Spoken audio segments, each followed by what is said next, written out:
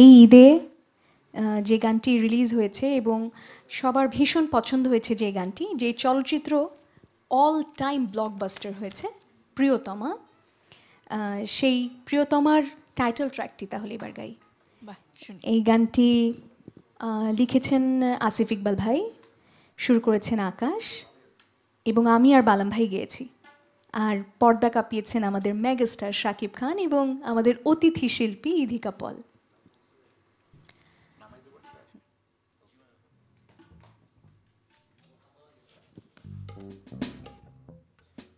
Mm-hmm.